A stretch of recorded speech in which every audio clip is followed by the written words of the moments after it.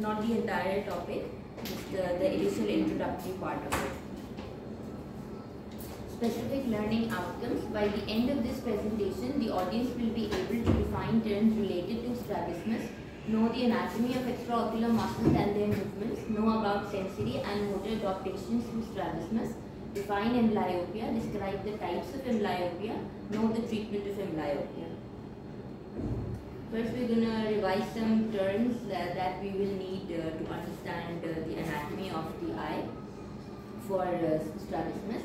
General shape and uh, general shape. Segments of the eyeball is, uh, is segments of two spheres of different sizes. Anterior smaller segment is transparent and forms one sixth of the eyeball. Posterior larger segment is opaque and forms five sixths of the eyeball. The anterior pole, anterior pole is the center of curvature of transparent segment uh, or cornea. Posterior pole is the center of posterior curvature of the eyeball and is located slightly temporal to the optic nerve. Anatomical axis, geometric axis, optic axis, these are the same names for the same, uh, different names for uh, same axis. It is the line that is connecting the two poles of the eyeball. Next uh, is equator.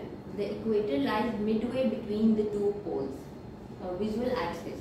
Uh, first we did uh, anatomical axis and now we're doing uh, visual axis. Visual axis passes from the fovea through the nodal point of the eye to the point of fixation. In normal binocular single vision, the visual axes of the two eyes intersect at the point of fixation. The images combined by binoc images are combined by binocular responsive cells in the visual cortex angle kappa. The visual and anatomical axes of the eye do not correspond to each other. The angle between the two axes is called angle kappa and it is usually about 5 degrees. We see the picture showing the visual and the optic axis and uh, that one is showing the angle kappa between the two axes.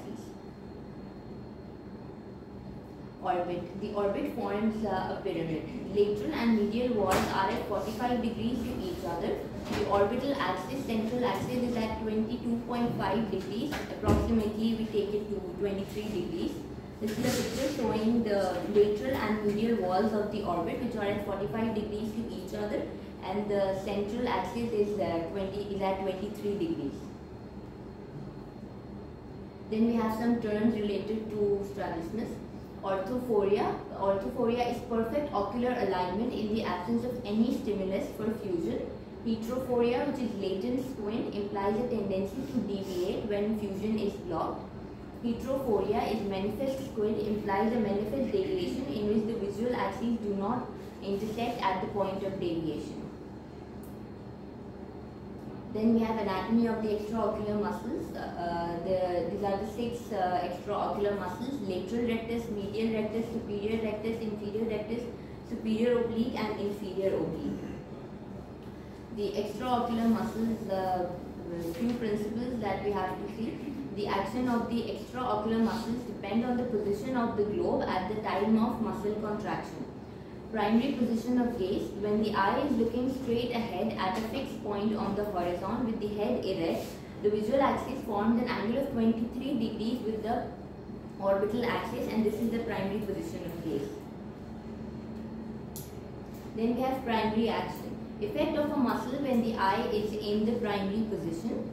Subsidiary actions are additional effects of the extraocular muscles which depends on the position of the eye listing, listing plane. It is an imaginary coronal plane passing through the center of rotation of the globe. We have a picture of it. This is the listing plane. It is uh, in the coronal plane. Then we have axes of Fick. The globe rotates left and right on the vertical z-axis. The globe rotates up and down on the horizontal x-axis and torsional movements occur on the y-axis. Intorsion occurs when the superior limbus rotates nasally and extorsion occurs when the superior limbus rotates temporally. In this uh, diagram, uh, the, the axes of Fick, uh, are also shown x, y and z. Now we have uh, anatomy of the muscles. The lateral rectus, it originates at the annulus of Zinn and it inserts 6.9 millimeters behind the temporal limbus Sole action is adduction in primary position. Then medial rectus, medial rectus originates at the annulus of Zinn, inserts 5.5 mm behind the nasal limbus. Sole action is adduction in primary position. Superior rectus muscle originates from upper part of the annulus of Zinn, inserts 7.7 mm behind the limbus. The primary action is elevation when the globe is abducted to 23 degrees. Secondary action is adduction and intorsion when the globe, globe is adducted 67 degrees. This is the diagram showing the uh, action of uh, superior rectus muscle. At 23 degrees, it acts as an elevator and uh, when it is when the globe is rotated 67 degrees, it acts to intort the eye. Then we have inferior rectus muscle. Originates from lower part of the annulus of Zinn, inserts 6.5 mm behind the limbus. The primary action of inferior rectus muscle is depression, depression and uh, it occurs when the globe is uh, abducted uh, at 23 degrees. Secondary action is adduction and extorsion when the globe is abducted uh, 67 degrees. Then next we have oblique muscles. Uh, the oblique muscles are inserted behind the equator and they form an angle of 51 degrees with the visual axis.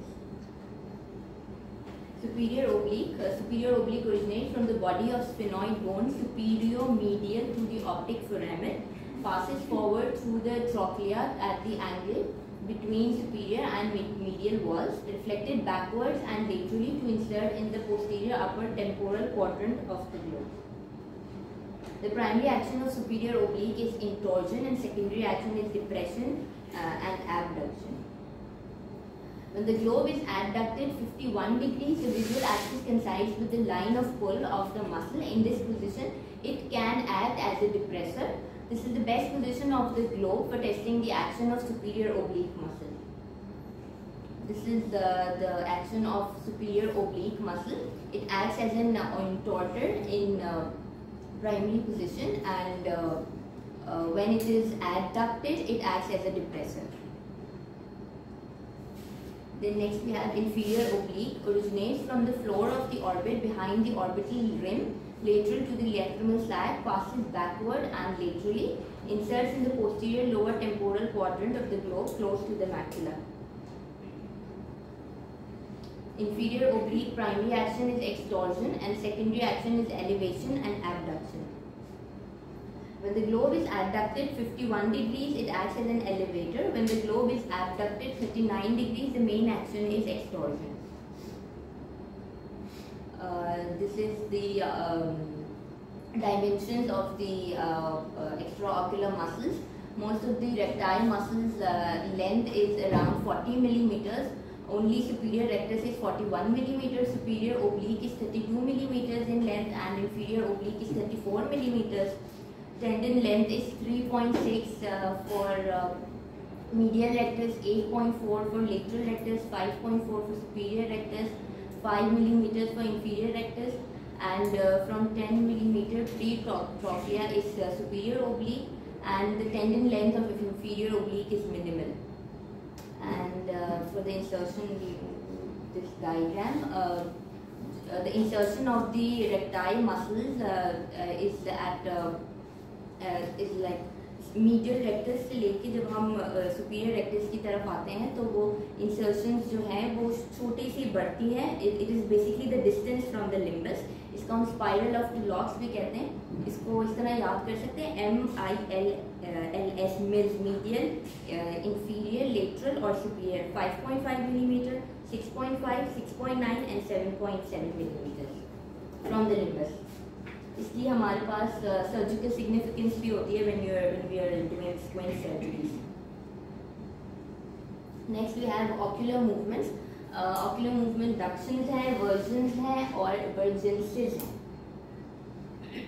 in ductions we have monoocular movements around the axis of faith uh, adduction abduction elevation depression intorsion and extorsion Versions are binocular, simultaneous, conjugate in the same direction movements.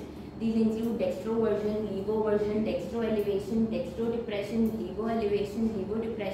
levocycloversion and dextrocycloversion. And third is vergences, which are bi, bi, binocular, simultaneous, disjugate in opposite direction movements, convergence and divergence. Then we have uh, position of gaze. We have uh, six cardinal positions of gaze, which is which are dextroversion, levoversion, dextro elevation, dextro depression, levo elevation, and levo depression and uh, there are uh, nine diagnostic positions of gaze which include the six cardinal positions, primary position of gaze, elevation and depression. This is a diagram showing the primary position of gaze in the center and uh, on the sides we have the cardinal positions and all of these combined uh, are the diagnostic positions of gaze. Sensory adaptations to strabismus. The ocular sensory system has the ability to adapt to anomalous states, confusion and diplopia by two mechanisms, suppression and abnormal retinal correspondence. Suppression involves active inhibition by the visual cortex of the image of one eye when both eyes are open. Stimuli for suppression include diplopia, confusion and blurred image from one eye. Abnormal anomalous retinal correspondence, a condition in which non-corresponding retinal elements acquired a common subjective visual direction. For example, fovea of the fixating eye is paired with the non-foveal element of the deviated eye. Binocular, response, uh, binocular responses in ARC are never as good as in normal bifoveal binocular single vision, seen in small angle esotropia, microtropia. Then we have motor adaptations to strabismus it involves a compensatory head posture. Uh, it eliminates diplopia and helps to centralize binocular visual field. The patient will turn the head into the direction of field of action of the weak muscle that the head will turn where the eye cannot. Uh, there are three, uh, um, uh, three head postures, face turn, head lift, head tilt and chin elevation or depression. Face turn. Face turn is usually adopted to control a horizontal deviation. For example, if the left lateral rectus is paralyzed, diplopia will occur in left case. So the face will, the patient will turn face to the left. It deviates the eye to the right away from the field of action of the weak muscle and diplopia. Head tilt. Head tilt is adopted to compensate for torsional diplopia. For example, in right superior oblique uh, weakness, the head is tilted to the left. Chin elevation. Chin elevation is used to compensate for weakness of an elevator or depressor. Now next uh, we are going to discuss amblyopia. Amblyopia is unilateral or bilateral in best corrected visual acuity caused by form uh, by, by, caused by form vision deprivation or abnormal binocular interaction for which there is no identifiable pathology of the eye or visual pathology or visual pathway. Amblyopia is actually a diagnosis of exclusion जब आप the unilateral or bilateral decrease in vision so you, so you have to rule out all the diseases अगर कोई भी disease नहीं है फिर आप उसको amblyopia label करोगे classification of amblyopia strabismic है anisometropic है stimulus deprivation है meriodonal है और bilateral ametropic amblyopia है First we have strabismic amblyopia when the eye is deviated तो कोई एक जो डेविएटेड आई है उसकी विजन जो है ब्रेन uh, जो है उसको सप्रेस कर देता है uh, जिसकी वजह से स्ट्रैबिस्मिक हो गया it result in abnormal binocular interaction in strabismic continued monocular suppression due to deviation Then next we have anisometropic amblyopia. It's caused by difference in refractive error between the eyes. May result from a difference of as little as one diopter. The more blurred image receives a blurred image resulting in amblyopia may coexist with strabismic amblyopia. Stimulus deprivation results from vision deprivation typically caused by opacities in the media, for example cataract, ptosis that covers the pupil. Then we have bilateral ametropic. It results from high symmetrical refractive error, usually hypermetropia. Meridional amblyopia is uh, resulting from image blur in one meridian by uncorrected astigmatism. It can be unilateral or bilateral. Uh, in the absence of an organic lesion, a difference in best corrected visual acuity of two Snellen lines or more is indicative of amblyopia. Visual acuity in amblyopia is usually better when reading single letters than letters in a row. Treatment The sensitive period during which the acuity of an amblyopic eye can be improved is 7 to 8 years in strabismic amblyopia and uh, uh, I will discuss the treatment further in, uh, in other slides. The treatment include occlusion and penalization. Occlusion may we prescribe the patient glasses and then we ask them to patch or cover the uh, the good uh, the good eye so that the patient uses the uh, the amblyopic eye. And in penalization, we prescribe patients atropine drops, uh, especially when the patient is uh, non-compliant, non we give them atropine drops to put in the good eye so that they, the patient can use the amblyopic eye. Occlusion is uh, more effective than penalization and occlusion is सबसे बड़ा issue compliance का ही आता है अगर compliant ना हो बच्चा तो फिर हम उसको atropine drops and uh, amblyopia treatment studies by PEDIG, Pediatric Eye Disease Investigator Group is a collaborative network dedicated to facilitating multi-center clinical research in strabismus, and amblyopia and other eye disorders that affect children. The network, which was formed in 1997, is funded by National Eye Institute. These studies provide support for treatment and management of amblyopia that is safe and effective for patients. Um, I was reading this uh, from, I've, uh, I've sourced uh, about this research from Google, so I'm not really sure कि सारी data सही होगा कि नहीं, but I just added it. तो बहुत अलग अलग वेबसाइट्स पे ना अलग अलग आ रहा था। स्पेशली मॉडर्ड एम्ब्लायोपिया का आ रहा था कि सिक्स ट्वेल्व से सिक्स ट्वेंटी फोर है या सिक्स थर्टी सिक्स है? कहीं आ रहा था कि सिक्स ट्वेंटी फोर होगा या कहीं आ रहा था सिक्स थर्टी सिक्स आ रहा था। First we have mild amblyopia. Mild amblyopia is visual acuity in the amblyopic eye of 6 9 or better. Moderate amblyopia is visual acuity in the amblyopic eye of 6 12 to 6 24 or 6 36. Severe amblyopia is visual acuity in the amblyopic eye of 660 to 6120. Role of glasses in the treatment of amblyopia. The first line of treatment is prescribing a spectacle prescription. Uh, for this, uh, the, uh, the ATS uh, study's objective was to evaluate the effectiveness of refractive correction alone for the treatment of untreated anisometropic amblyopia in children aged 3 to 7 years old. This was their fifth uh, research. The result shows that uh, amblyopia improved with optical correction by equal to uh, or greater than 2 lines in 77% and resolved in 27%. Improvement took up to 30 weeks for stabilization criteria to be met. So the conclusion was that uh, that opti optimal spectacles can lead to improvements in vision in children with anisometropic amblyopia. Then there was another uh, research study in which they compared patching with only spectacle wear. Uh, two hours of daily patching combined with one hour of concurrent uh, near visual activities versus control group of spectacle wear alone for the treatment of moderate to severe amblyopia in children 3 to 7 years old.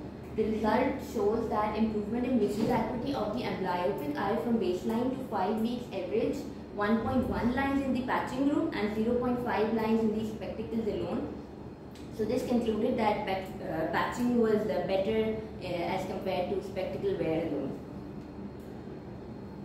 Then we have, uh, there is another study in which they compared patching with atropine. Uh, the uh, objective was to compare patching and atropine as treatments for moderate amblyopia in 3 to 7 years old. Result shows visual acuity uh, increased, the six, uh, visual acuity was greater than 6 by 9 or more, improved by more than 3 lines in 79% in patching and 74% in atropine group. So the conclusion was patching is equal to atropine treatment but in moderate amblyopia only. Then uh, recommendations for treatment based on amblyopia severity and patient age. Hours of patching recommended for children aged 3 to 7. Moderate amblyopia patch 2 hours a day. Similar in efficacy to patching 6 hours a day. Severe amblyopia patch 6 hours a day. Similar in efficacy to full time patching. Uh, ये भी इनकी research uh, और studies थी जिसमें उन्होंने compare किया था two hours को और सिक्स आवर्स को तो इट प्रूव कि दोनों की जो एफिकेसी है आप उसको सिक्स आवर्स पर डे बोलो या टू आवर्स पर डे बोलो सिमिलर है तो फिर for model amblyopia they decided that patch to patching for two hours a day is enough. Then we have severe amblyopia. इसमें they compared six hours a day to full day, full time patching. उसके भी similar effects आए थे, so they decided that patching for six hours a day is enough. Then we have dosing of atropine recommended for children aged 3 to 12 years. Atropine uh, is only effective when the amblyopia is moderate, यानी कि 624 या 636 तक vision होगी अगर तो. And then uh, and or, and they did another study in which they compared weekend atropine to daily atropine. उसकी भी efficacy similar थी. So uh, final recommendation was uh, weekend atropine for moderate amblyopia in ages of 3 to 12 years. Additional findings when the visual acuity in the amblyopia eye stops improving with two, two hours of patching, increase the hours of patching to 6 hours for children aged 3 to 7 years. for children aged 7 to 2 years, prescribing patching can improve visual acuity even if amblyopia has, has, previously, has been previously treated. For older children ages 13 to 17, prescribing patching can improve visual acuity when amblyopia has not been previously treated.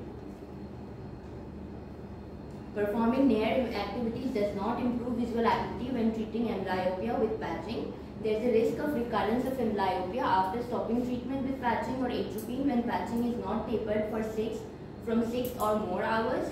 Thus, patients should be tapered to two hours more two hours before stopping treatment. The sources uh, of my presentation were uh, Kanski's uh, uh, ophthalmology, Snell's clinical anatomy, and from Google I found about this ATS studies.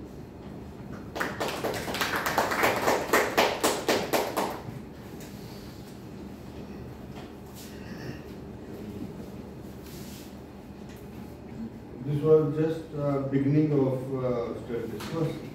Uh, but in the beginning, we also add uh, different terms like phoria, tropia. Do you have a plan for next lecture or we can do now? Sir दूसरे के next lecture में project progress अगर होने हैं होने हैं between a phoria and a tropia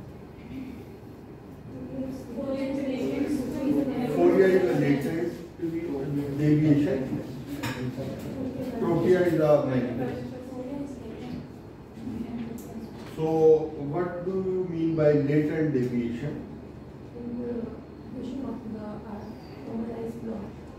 when the so when the fusion mechanisms can control the deviation, this is latent. So no obvious main, uh, squint is present. So manifest deviation occurs when the deviation exceeds the fusional mechanisms of the eye. Right. So this is phoria and tropia. One way of classifying squint. What is other types of classification, how do you divide squint? Paralytic, oh. uh, non-paralytic and paralytic. So non-paralytic is also known as concomitant or comitant squint. And the paralytic squint is known as incomitant or non-comitant squint. So what is the difference between the two?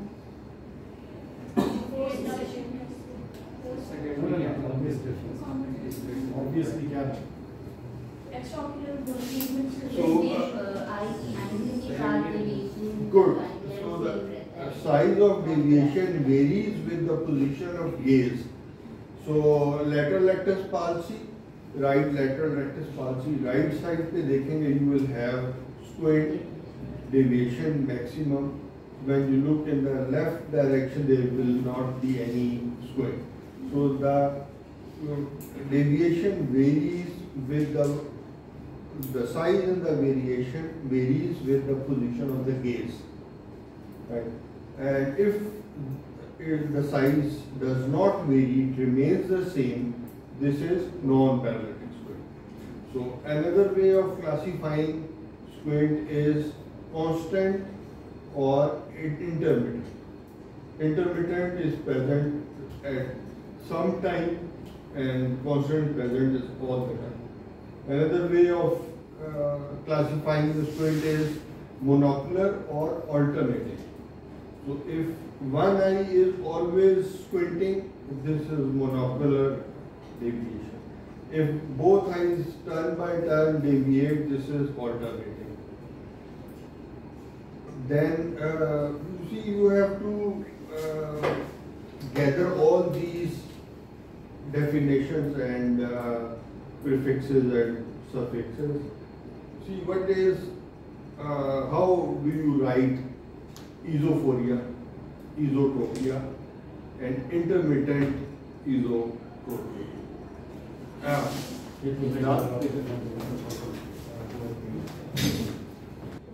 And if you add a symbol like this, what does this mean? Esophoria for near fixation. Right? And if you add T with it, then it is called esotropia. So this is manifest deviation. And if this deviation is present for some time only, this is called intermittent esotropia. Right? So for divergent squint, we write exo. So X is exophoria, XT is divergent squint, is exotropia, and intermittent exotropia is right. Similarly, we have for hyperphoria, H. For hypertropia, we have HT. So if there is right hypertropia, right RHT, 15 degree, means that the right eye is deviated upwards. If the eye is deviated downwards, then this is called hypotropia. This is hypophoria, and if we write H-O-T, this is hypotropia. Then there is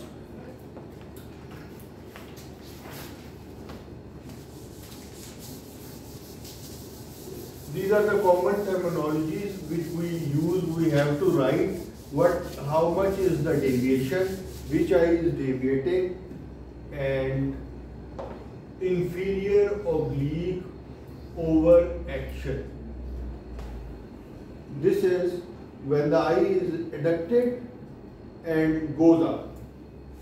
So this is also called over elevation in adduction.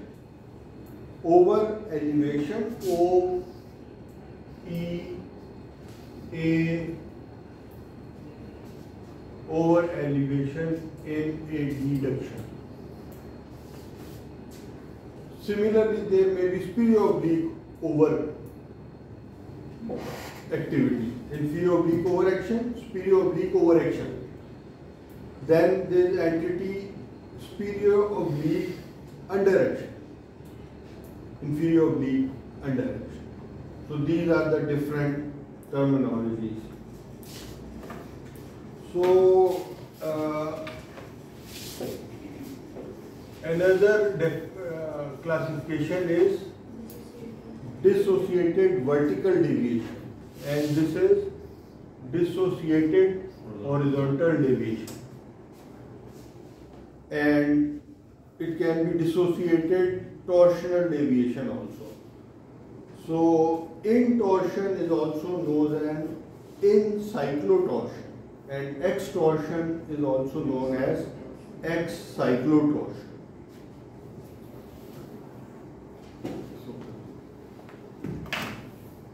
is one group and if the deviation appears after six months of life, this is called acquired. Congenital and infantile are lumped in one group. So if the deviation occurs at birth or within six months of life, this is infantile. Then another way of uh, uh, sort of classifying is we check the squint for near and far. So let's say if the convergent squint is more for near, this may be a high ACA ratio. Convergent express, these are good. Yeah, good. If uh, an XT is more for far, so this is divergence excess exotropia. Then another way of classifying the squint can be uh, with glasses or without glasses. We always check for that. If the refraction, if the refraction improves the squint or the squint is present with refraction also. So these are the different ways how do you classify the squint.